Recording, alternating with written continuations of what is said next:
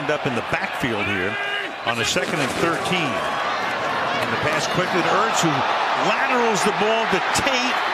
And Tate taken out of bounds at the eight yard.